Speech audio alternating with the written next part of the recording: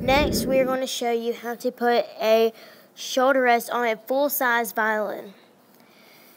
First, flip your violin over. You might want to put something under it so that way your violin does not get scratched. Next, get the shoulder rest and put the smaller part on the right side of the violin if your scroll is farthest away from you. Then simply slide on the shoulder rest and make sure it is on well.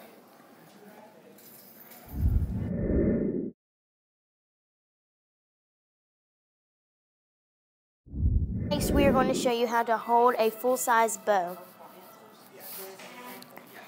First, pick up the bow.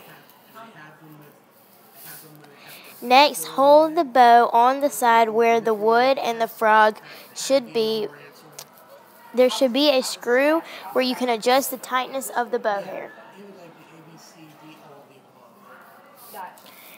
Put your ring finger on the dot.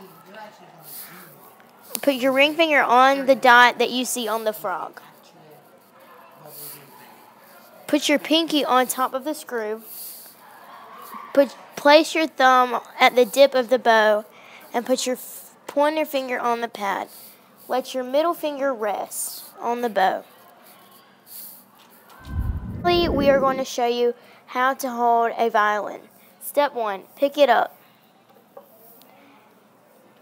Next, place your chin on the chin rest, the big black thing on the violin.